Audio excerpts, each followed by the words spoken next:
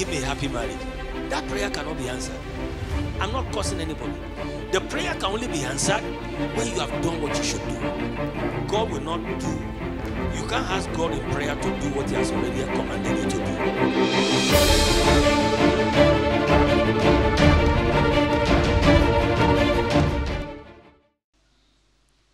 The moment you understand, you enter into the revelation of ownership that it is yours. You begin to attract some opportunities, you begin to attract some open doors. That's how it works. So that's why a gate man becomes a great man. Because while he was opening gate, he doesn't see himself as a gate man. Hmm? He was opening gate and say, Yes, sir, he knew inside him that the heart is the Lord and the fullness thereof. God told me as I preach this message, He said there are people here who are just petty salary earners in a company, but you will rise up in the same company and join the directors. One of my sons here was working somewhere, a bill, multi-billion naira company, and one day his oga called him and said, "You have tried. What we are going to do now is that we're including you as one of the directors." Will be sharing profit. Will be paying your wife who doesn't work here because the wife of director should be taken care of. Abi? And where he entered as a steward, where he started from stewardship, he moved into ownership. Somebody is here. You have served and served. You won't die as a servant.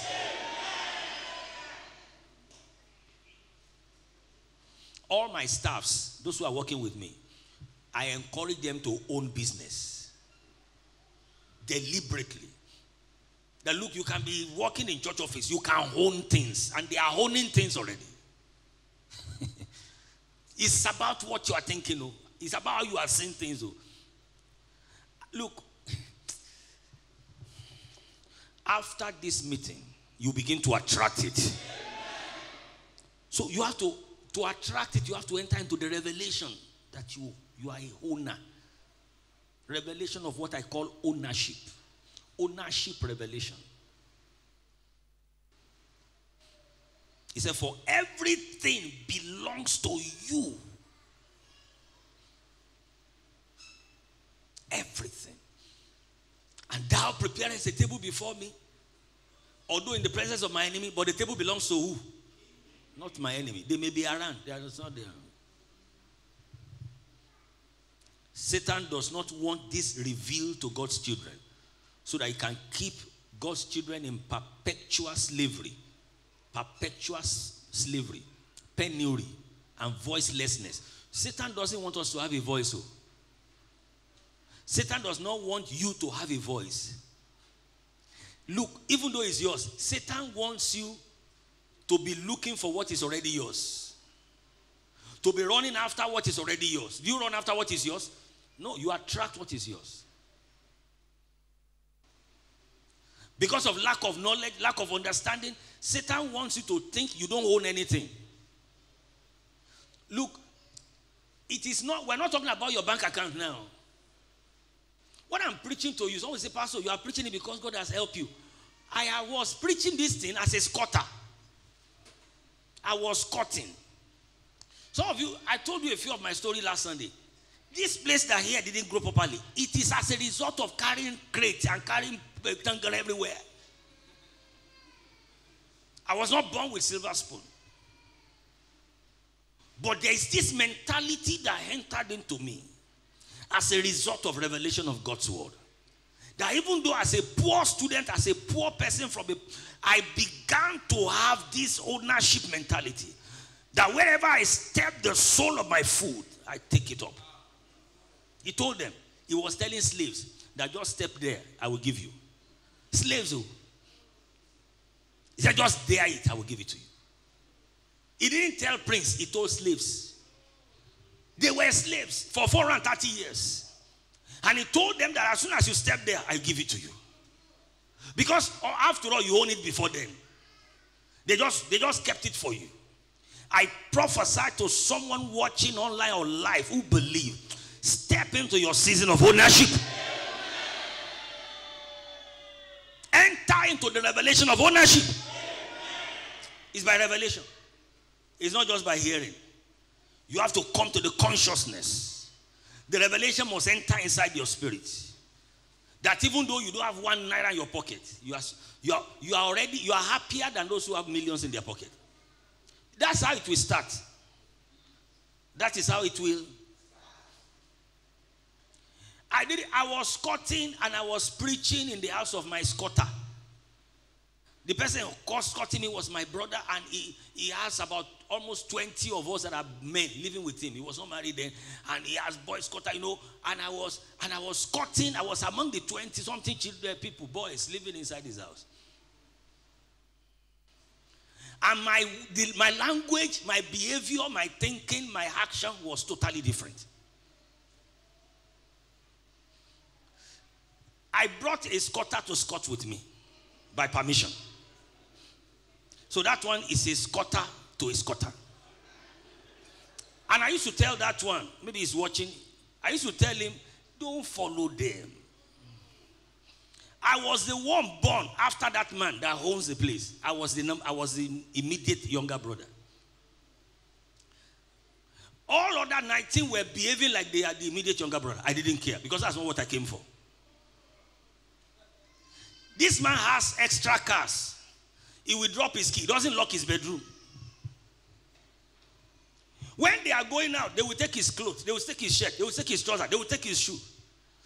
Me, I was I was wearing my, my boss corner. And they were wondering that maybe something is wrong with my head. That why can't you enter his room and take a cloth? And I told them that I don't wear people's clothes. The mentality of ownership was so strong. I was preaching one day in a family prayer meeting. The man called me and said, Pastor, I appreciate the word of God you will preach to us. But you see, the people that came around, that one is a multimillionaire. That one live in US. And the way you were preaching, they cannot help you. Because you don't sound like you need help. He said, I expect you to preach and don't see all those things you were saying, they will not help you. I say, I don't need their help. It's God that will help me. Today, to the glory of God, I'm a pride to all of them. The remaining 19 are still going back to the same house and asking for. Do you have a body? You won't die as a slave. It's not pride. I just knew that my condition is not the current condition. That by revelation, I was already in, I already stepped into a season of ownership by revelation. By divine revelation. I pray you will grab that revelation. You are not saying amen properly. The day I bought my first Tokumbo car, clean, Jetta, no AC, but clean. I took it to that house where I squatted so that, you know, so that he can help me pray. And my, and my brother, he came out, he said, Wow, I'm so proud of you. He said, This is what I want. I don't want people running after me, running after me for the rest. Of Me too, I'm tired. He said, Look at you now. After a while again, I took FX45 Infiniti. I took it to his house. I said, Sir, I just bought this one. Too. He said, Hey, you won't die as a slave. You won't die as a beggar. You are destined to be a giver. You will not die as a beggar. Look, there are people I'm seeing. You, don't, I don't look at people from their present condition. No. There are big time CEO here, big time millionaires here, big time multi-millionaires here. They, you can walk in with bedroom slippers, it doesn't matter. But you have to have the revelation. Everybody say, have the revelation. You've got to enter into that revelation. And that is the revelation Satan does not want us to enter into. Satan wants you to see yourself as a disadvantaged person. He wants to see, to see yourself as a slave.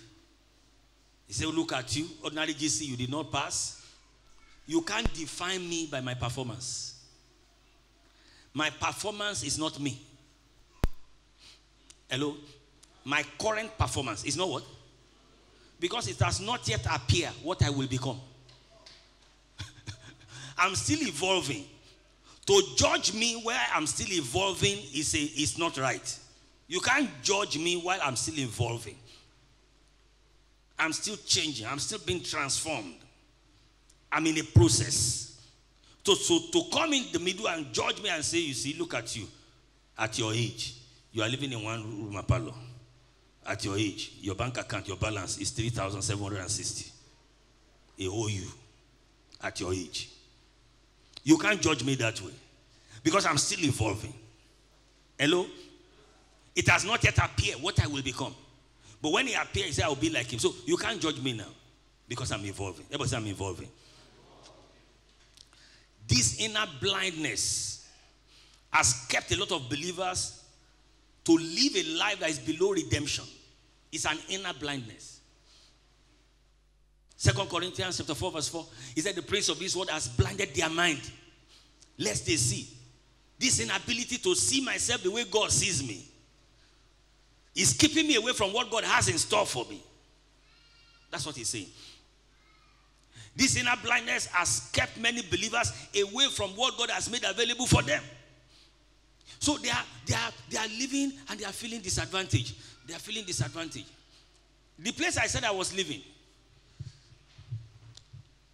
You know, when you are living under people and they are giving you money, you won't even think of opening a bank account. The moment I moved to Lagos, I opened an account.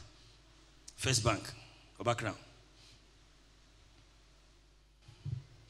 It's not a sin. I can sometimes I save 1,000. I work inside and save 1,000 naira. And fill the form. I'm not sure it's my money. I didn't steal it.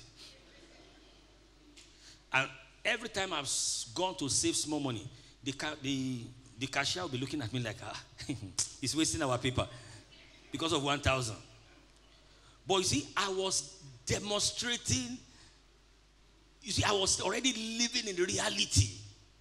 Because I know if I can be walking into bank to save money, nobody will ask you how much I use.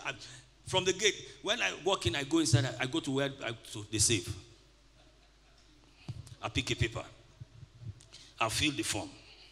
I'll put my 1,000 naira on top of it. I'll go there. And I'll put it like this. So people will bring blocks. They'll be looking at me like, I don't care. I'm evolving. Do you know the same, the same bank by the time God started blessing my architecture business, they used to call me Bankoli. You know what they call Bankoli? Because at a point, the woman that was heading those who count money, she called me one day. She said, uh, uh, Pastor, what subject can my child master to study your course? The same place I was saving 1,000. The woman called me one day, said, uh, My son, I told him that I want him to study your course. because I kept bringing shaka. It was not my money directly like that, but at least eh, when you start handling people's money, one day you handle your money. I was handling projects, houses for people, and I will carry the thing inside. Ask Pastor Kayode when you see him. He was my staff. We'll bring the money in. You see, that time I love to be there. Even though it's not my money, I love to stay there and let them count, and they'll be counting, and I'll be feeling good. And everybody around will be looking at me like, wow, this small boy. I just, I just enjoyed that season. I would, I, would have looked for small money. When I'm going, I would just, although they used to be angry that uh, what I was giving them was too small. they expected me to bring block. It's not my money. But I don't tell anybody it's not my money. I'll just lodge the money in. Then when we want to buy a roofing sheet, I will write a check. As I write a check, I will sign. I'll tell my staff, say, we're giving them check. Tell them we're giving them check. Because the money, I want the money to enter my account and carry my name. You, are you getting what I'm saying? Because I had the mentality that I will own things. So I have to practice the thing. Enter into the revelation. I say enter into the revelation. As simple as what we just explained is, you have to enter into it deliberately, consciously.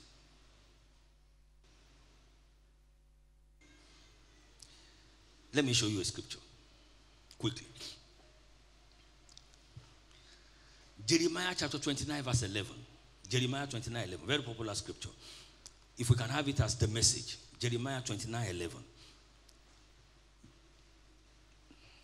For I know the thoughts that I think towards you, says the Lord, thoughts of peace are not evil, to give you a future and a hope. Can we have it in the message? Jeremiah 29 11, the message. The message. Look at it. This is God's word on the subject. As soon as, okay, from verse 10. Well, let's read from verse 10. As soon as Babylon's 70 years are up and not a day before, I will show up and take care of you as I promised and bring you back home. I know what I'm doing. God's, God is the one speaking. Say, I know what? I know what I'm doing. I have it all planned out. Plans to take care of you, not abandon you. Plans to give you the future you hope for. God said, I can deliver the future you are hoping for. But you see, the problem is you too, you need to know that you have it. You can't attract what you don't know.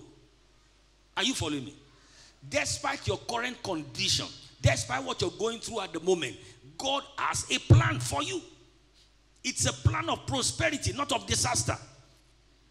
It doesn't matter where your parenting, your background, God has a plan. Look at English, uh, easy to read version. I say this because I know the plans that I have for you. This message is from the Lord. I have a I have good plans for you. I don't plan to hurt you. I plan to give you hope and a good future.